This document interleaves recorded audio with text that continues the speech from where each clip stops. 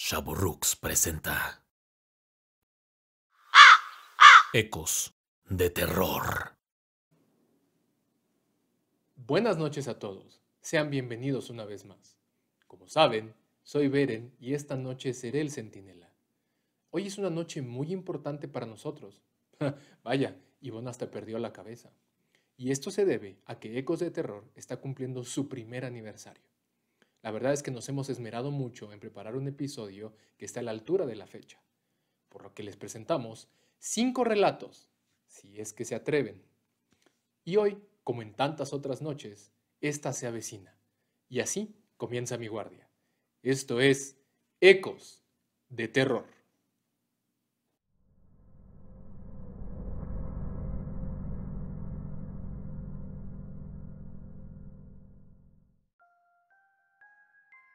Este relato era el favorito de mi abuelito, que era una persona llena de anécdotas y cuentos. Para cada ocasión había una historia que contar, y siempre buscaba la oportunidad para contarnos de que en su pueblo un hombre había bailado con la muerte. Mi abuelo tenía 16 años y vivía en un pequeño pueblo, de esos en donde todo mundo se conoce y se saluda, y no existe el concepto de vida privada como nosotros lo entendemos en las grandes ciudades. También eran otras épocas, y la gente aún conservaba tradiciones y normas sociales que podríamos decir hoy que eran estrictas y anticuadas, pero que formaban parte de la moralidad esperada de aquellos tiempos. En el pueblo había un muchacho, solo unos cuantos años más grande que mi abuelo, tendría 20 o 21 años, pero para las costumbres vigentes en ese momento, era un hombre hecho y derecho. Todos en el pueblo conocían la reputación de este hombre, por mujeriego, parrandero y jugador. Se hablaba en diferentes ámbitos que era una amenaza para las jovencitas de buena moral y familia. Incluso había rumores de que la reputación de varias fue arruinada por tener que veres con el individuo en cuestión, teniendo embarazos no deseados y abortos ilegales. El nombre con el que lo conocían era el Taimado, y era bueno con el machete y con las pistolas, por lo que los padres de las chicas le tenían miedo y nadie le hacía frente. Llegaba el mes de octubre, y con este las fiestas propias de la región. En el Palacio de Gobierno del pueblo, se prepararon para la verbena y, como era de esperarse, todos los habitantes acudieron a las celebraciones. La noche del gran baile, todos los jóvenes del pueblo, incluyendo a mi abuelo, asistieron muy ataviados y perfumados, pues era una gran oportunidad para cortejar a las chicas. De entre todas, había una que destacaba por su belleza y su porte. Nadie sabía quién era, ni la reconocían. Mi abuelo decía que todos los muchachos del pueblo, él incluido, se acercaron para invitarla a bailar, pero que la mujer no contestaba, ni siquiera los miraba. Solo con la vista y un pequeño giro de la cabeza les daba a entender que no. Al cabo de un rato llegó el taimado, y más pronto que nada, centró su atención en la misteriosa chica. Se quedó ahí, mirándola, por lo menos un rato. Parecía como si estuviera pensando su estrategia de ataque. Luego, cual cazador a su presa, arremetió contra la bella dama, y para sorpresa de todos, ella aceptó bailar con él. Y así estuvieron, bailando por horas hasta que la música terminó. Todos ya iban para sus casas, y el taimado seguía en su proceso de conquista. Ya cuando prácticamente estaban todos en sus casas y solo quedaban los bebedores tercos que se quedaban hasta perder el conocimiento, el taimado y la chica caminaron del brazo. Mi abuelo, que se había esperado por curiosidad para ver dónde vivía la chica, los esperó escondido a la distancia, para luego seguirlos mientras caminaban. Tomaron una ruta extraña que no llevaba hacia el pueblo, sino fuera de este. De pronto, el taimado y la chica se detuvieron por un momento, y mi abuelo jura que la chica lo miró, como sabiendo que estuvo ahí todo el tiempo, siguiéndolos. Mi abuelo se agazapó entre la maleza de las orillas del pueblo, con la esperanza de volver a esconderse. Un momento después, se volvió a asomar para ver dónde estaban la chica y el taimado. Su sorpresa fue que la chica ya no estaba y el joven yacía en el piso. Mi abuelo huyó aterrorizado del lugar y volvió a su casa. Al siguiente día, muy temprano, encontraron el cuerpo del taimado, sin vida, en el mismo lugar donde mi abuelo lo había identificado a la distancia. Mi abuelo contó lo que había visto a su madre y a otras personas, y pues, pueblo chico infierno grande, ¿no? Muy pronto todos en el pueblo sabían del extraño fenómeno y concluyeron que la chica era en realidad la muerte y que había llegado a nuestra comunidad para ponerle fin a lo que ellos decían eran las perversiones del taimado. Desde entonces los habitantes del pueblo decían ver en las orillas de este a un joven bailando con una chica, para luego desaparecer sin explicación, y aseguraban que la muerte había seducido al taimado y que lo tendría bailando con ella hasta el fin de los tiempos.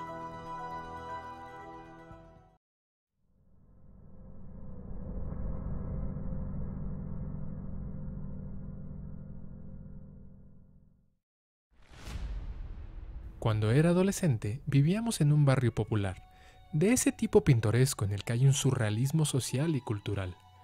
Podríamos hablar solamente de la arquitectura, con infinidad de casas pequeñas, pero que tenían dos o tres niveles hechos en etapas, cada una de estas representando la independización de algunos de los miembros, mismos que emprendían una larga mudanza, notes el sarcasmo, hacia el piso recién construido. Repleto de vendedores ambulantes de cualquier cantidad de alimentos y botanas, los cuales aparecían a las horas más inesperadas, así como fiestas improvisadas, que se convertían en grandes eventos que terminaban por bloquear las calles. Ese era mi barrio, y ahí viví toda clase de experiencias, siendo la más aterradora la que voy a compartirles. En la esquina de la calle de mi casa instalaba todos los días un pequeño puesto de dulces el señor Joaquín, un anciano que para ese entonces ya estaba ciego, lo cual no solo era evidente por el color blanquizco de sus pupilas, sino porque él no se cansaba de decirle a quien pudiese que era un viejito ciego. Todos le teníamos cariño y respeto, pues don Joaquín había vivido en el barrio desde siempre. Se decía que antes que cualquiera de los que estábamos ahí. Dentro de la parte surrealista que les comentaba, podemos contar que don Joaquín era ciego, pero se enteraba y veía más cosas que nadie más. Esto se debía principalmente a que casi todos nos reuníamos en su puesto para comprar dulces o cigarros, y él escuchaba todo lo que decíamos y también nos contaba cosas. Don Joaquín se quedaba hasta tarde, y como eso de las 11 pm, comenzaba a recoger su puesto. Normalmente yo le ayudaba, y eso me valía que me regalara unas frituras o unos cuantos cigarros. En algún momento llegó al barrio una familia pequeña. Solo eran los padres y un muchacho, Víctor. La familia era muy reservada y los tachamos de raros muy rápidamente. Víctor iba a la escuela junto con varios de nosotros del barrio y lo veíamos con mucha frecuencia, solo y aislado del resto. La mayoría de mis amigos y vecinos no querían acercársele, salvo para molestarlo, pero yo sentí un poco de lástima por él y comencé a hablarle gradualmente. En una ocasión, le ofrecí que regresáramos juntos a casa y así lo hicimos. Pasamos por el puesto de don Joaquín a comprar algunas cosas. Yo saludé efusivamente al anciano que atípicamente se mostraba seco y cortante. Dejé a Víctor en su casa y cuando iba de regreso, pasando nuevamente por el puesto de don Joaquín, el viejito invidente me detuvo. Muchacho, ese chamaco con el que andabas, ¿de dónde es? Le expliqué que eran de los nuevos vecinos y que íbamos a la misma escuela. Ten cuidado, mijo. Ese trae algo pegado y no es nada bueno. Confundido, le agradecí el consejo y regresé a mi casa. Por la noche, volví para ayudar al anciano a llevar sus cosas como lo hacía usualmente, sin otra novedad. Víctor comenzó a tomar una confianza especial, y eso derivó en que actuaba menos introvertido cuando estaba conmigo. Un día, me enseñó un cuaderno de dibujos que tenía, en el cual había cualquier cantidad de ilustraciones, pero muy tétricas. Tenía una especie de obsesión con dibujar gente mutilada y descuartizada, y una figura aparecía en muchas de sus ilustraciones. Se trataba de una mujer, una mujer que tenía un turbante en la cabeza, que por alguna razón yo identificaba como una toalla, además de tener una expresión que me daba mucho miedo. Cuando le pregunté a Víctor por qué la dibujaba tanto, se quedó un momento pensativo y luego me cambió el tema radicalmente, a lo cual yo ya no quise insistir. En otra ocasión que fuimos los dos con don Joaquín, pude notar que en su rostro se dibujaba una ansiedad o preocupación diferente a las otras veces, y aunque era ciego, parecía que miraba fijamente en dirección a Víctor. Esa misma noche, en el proceso en el que le ayudaba yo a levantar su puesto, el anciano me dijo, Mijo, de verdad te pido que ya no te juntes con ese muchacho. esa cosa que lo anda siguiendo te quiere hacer daño. Yo estaba confundido una vez más y le pedí que me explicara. El señor Joaquín no dijo nada más hasta que llegamos a su casa. Ahí me pidió que me sentara en una silla de su comedor, mientras él se sentaba en otra. Ya era tarde, así que me aclaró que sería breve, pero directo. Yo podré estar ciego, pero aún así estos ojos ven cosas que ustedes no ven. A ese muchacho lo sigue una especie de mujer que trae una toalla en la cabeza y le susurra al oído cosas horribles. El anciano elaboró su advertencia, diciendo que desde que había perdido la vista, había ganado la habilidad de ver y escuchar cosas que no son de este mundo. Eso explicaba su ansiedad y su molestia cuando yo iba con Víctor a comprarle algo. A pesar de estar asustado, en mí todavía cabía la posibilidad de que esto fuera una locura de un anciano que estaba alucinando. Al siguiente día, mientras estábamos en la escuela, yo traté de ser muy sutil mientras le pedía a Víctor que me volviera a mostrar sus ilustraciones. Fingiendo un mayor interés, le hice varias preguntas hasta que insistí en lo de la mujer que siempre dibujaba. Primero, intentó evadir la respuesta, pero después de presionarlo un poco, solo me dijo que era una mujer que había muerto en el departamento donde vivía antes y que se había ahogado en la bañera. Asustado, solo volteaba por encima de su hombro, como si alguien le estuviera diciendo algo. Yo seguí hojeando su cuaderno de ilustraciones, hasta que encontré un dibujo de la mujer al lado de un dibujo que llevaba mi nombre y al que parecía estar asfixiando.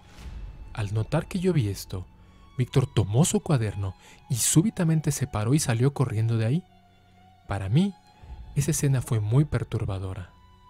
Ese episodio fue suficiente para que yo tomara distancia con Víctor. Por un lado, me daba mucha pena que él estuviese pasando por algo así, el ser acosado por un alma perdida que, cual parásito, se encontraba prendada a él. Sin embargo, tenía que pensar en mí y seguí el consejo de don Joaquín de alejarme. No pasó mucho tiempo para que Víctor se mudara nuevamente, rodeado de muchas historias que se contaban de ruidos extraños en su casa y cómo los padres del muchacho parecían aterrorizados por algo. Por supuesto, don Joaquín no perdió oportunidad de advertir a todos que, a donde fuese ese muchacho, lo seguiría una criatura que le susurraba al oído desde el más allá.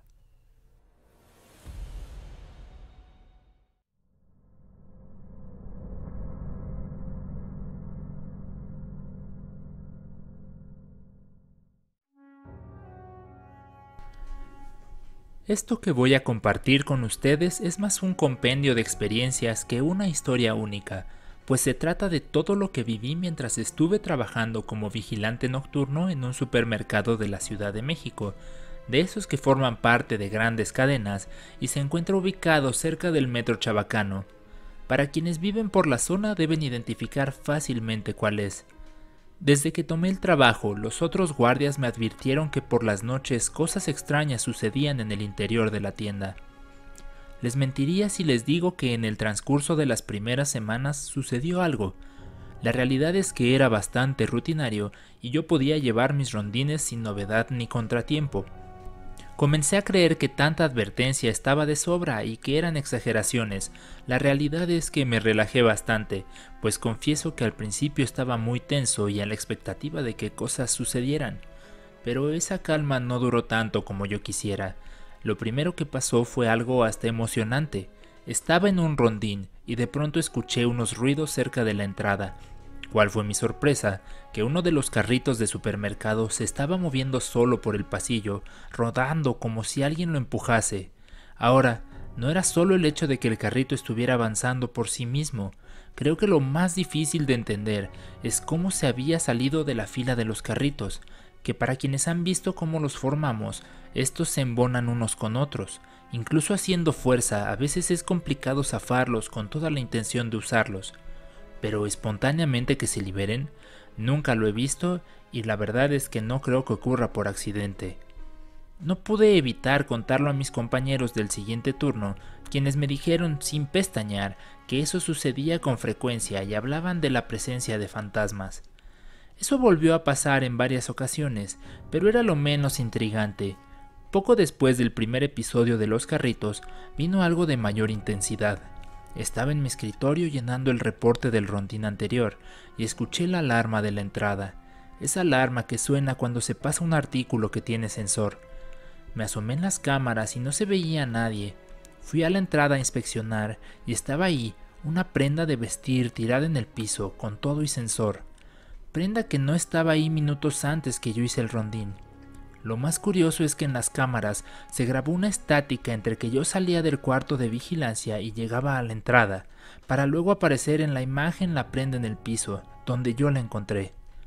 Poco a poco fueron sucediendo más cosas, combinadas con lo que ya había pasado. Es decir, seguían ocurriendo episodios con los carritos o con los artículos que hacían sonar la alarma, además de voces y pasos que se escuchaban.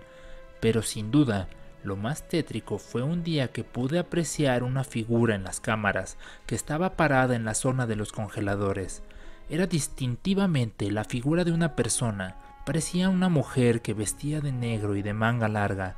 Me apresuré a salir del cuarto de vigilancia y fui directo a los congeladores, pero ya no había nadie. Le di fácilmente tres vueltas completas a la tienda y no había ninguna persona. Incluso encendí toda la iluminación cosa que no debía hacer, y no había rastro alguno. Regresé al cuarto de vigilancia y al revisar las cámaras la vi de nuevo, caminando sobre el pasillo de las cajas, con un paso lento y calmado y volteando a la cámara, como sabiendo que yo la estaba mirando. Esa vez sí tuve miedo, y en cuanto llegó el turno siguiente les conté y los guardias me decían, ah, sí, todos la hemos visto, solo no te vayas a dormir cuando la veas porque se viene al cuarto de vigilancia. Sobra decir que fue el mejor estimulante para jamás quedarme dormido en mi turno después de eso. Todo resultó en que yo me hiciera aficionado a los fenómenos paranormales. He leído y visto cualquier cantidad de videos y me ha ayudado a entender por qué las cosas pasaron así en el supermercado.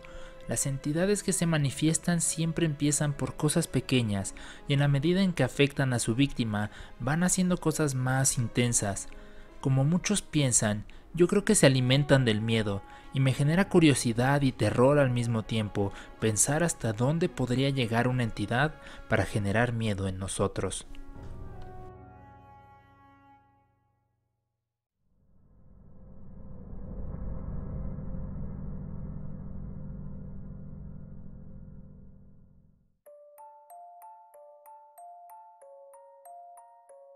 Hola jóvenes curiosos en lo sobrenatural. Pasen, pasen, bienvenidos. Me ha contado el centinela que han venido para que les refresque la memoria y vuelvan un poco al pasado. bueno, ya que están aquí, no me queda de otra. Cuando eras pequeño, lo recuerdas bien, tenías muchos juguetes, carritos, trompos, muñecas, etc. Pero tenías un juguete en especial un juguete que era más importante que los demás. ¿Lo recuerdas? Era pequeño, afelpado, y lo querías llevar a todos lados. ¿Lo recuerdas? Era aquel oso de peluche, tu fiel amigo al que le contabas tus mayores secretos. ¿Lo recuerdas? ¿No? Bueno, él sí aún te recuerda. Él aún te extraña. Él se pregunta por qué lo abandonaste, por qué lo dejaste en ese baúl. ¿Ya olvidaste esas travesuras que hicieron juntos? Eran cosas tan inocentes, como la vez que cambiaron la sal por el azúcar, o como cuando rompieron el jarrón de mamá por accidente por jugar fútbol dentro de la casa. A que eran tiempos divertidos, ¿verdad? Entonces, ¿por qué lo abandonaste? ¿Ya olvidaste cuánto te reíste cuando viste la cara de tu hermana llorar porque él le cortó la cabeza a todas sus muñecas? ¿Ya olvidaste cuánto disfrutaste cuando hiciste caer a la maestra media clase por el susto que le sacó tu osito? ¿Ya olvidaste la satisfacción cuando por culpa de ustedes atropellaron al bully de tu clase? Incluso cuando envenenaron al perro porque no se callaba. Simplemente ya olvidaste cuando pusieron esos pedazos de vidrio escondidos en los chocolates de aquel Halloween. Entonces, ¿por qué encerraste en el baúl a tu osito, eh? ¿Qué? ¿Dices que él te obligó a hacer eso? ¿Por las voces? Aún las recuerdas, ¿cierto? ¿Sabes? no se han ido de aquí.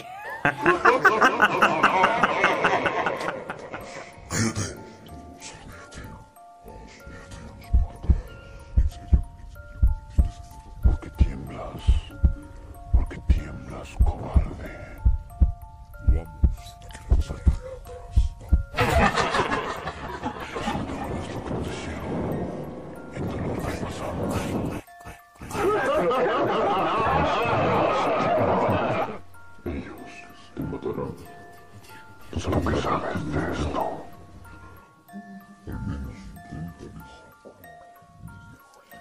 Lo hiciste bien. Es hermoso. El cadáver. Escóndelo. Adiós. Ni siquiera recuerda su nombre. Su nombre era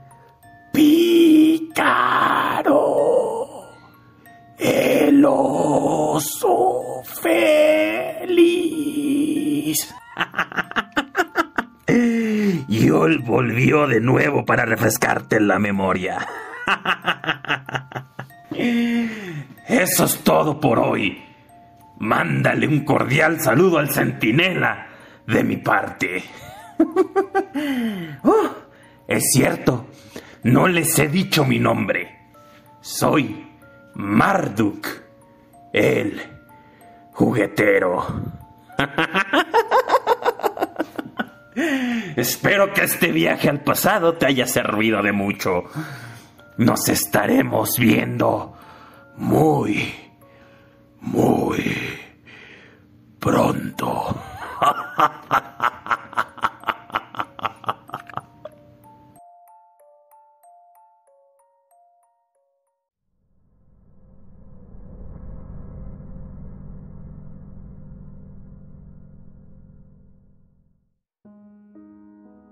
Esto sucedió a una familia que conozco. Su domicilio estaba ubicado en la Ciudad de México, en la calle de Granado dentro de la entonces delegación, hoy alcaldía, de Iztapalapa, muy cerca del Panteón Civil. La familia estaba conformada por el matrimonio de la señora Estelita y el señor Juan, los que tenían siete hijos.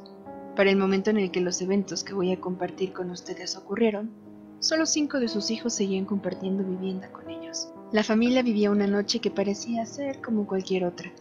Todo parecía habitual y como sucedía con frecuencia, todos se retiraron a sus recámaras a descansar una vez que terminaron su cena. El matrimonio en una habitación, la hija menor, Estelita, de unos 23 años, en una habitación para ella igual que la que tenían los cuatro hermanos que vivían con ella, todos hombres. La calma reinaba justo antes de que, cerca de la medianoche, Estelita comenzó a gritar desesperada y horrorizada. Esto puso en alerta a la familia entera, quienes se levantaron de sus camas y salieron de sus recámaras para acudir en auxilio de la jovencita. Después de ayudarla a tranquilizarse un poco, Estelita decía que algo se había posado encima de ella y no la dejaba mover, hablar o gritar. Logró hacer esto último una vez que la energía se quitó de encima de ella, lo cual también le permitió moverse y salir de su habitación muy asustada. El señor Juan y sus hijos buscaron por toda la habitación y en otros lugares de la casa, con el objetivo de descubrir qué es lo que había causado este incidente con Estelita, pero no encontraron nada ni a nadie. Como resultado de esto, la familia quedó muy asustada y preocupada. Permanecieron unos minutos juntos tranquilizándose y reconfortándose, principalmente la joven Estelita, y sin poder hacer más, regresaron a sus habitaciones a dormir. Aparentemente era un episodio aislado, pues por un par de semanas no ocurrió nada extraño ni relacionado a esto.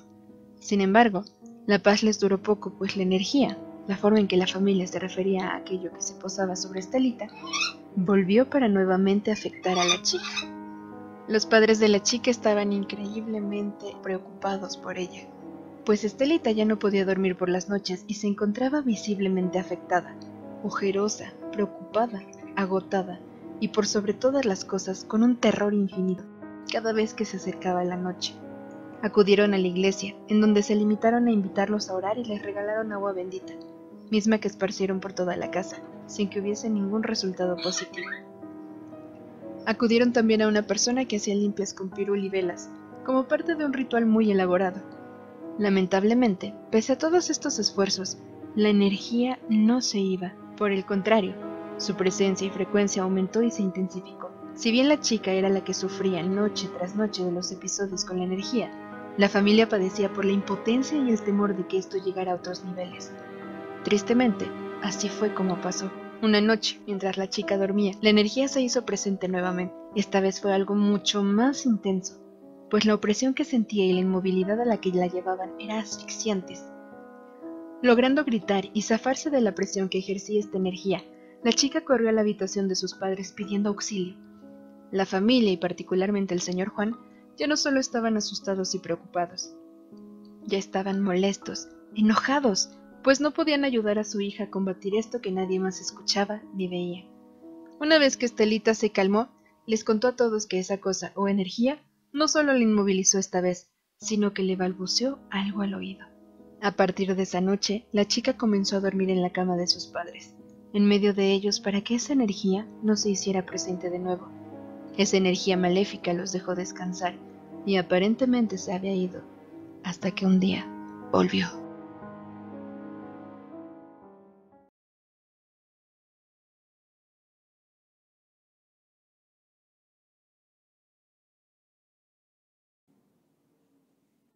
Una vez más, llegaron al final del recorrido.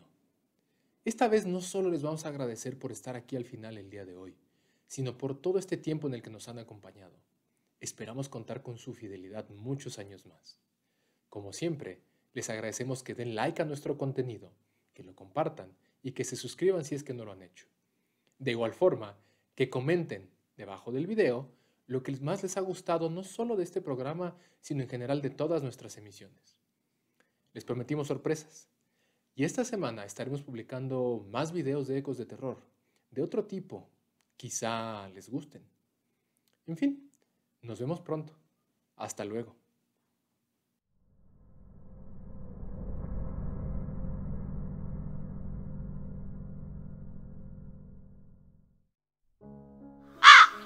Ecos de terror.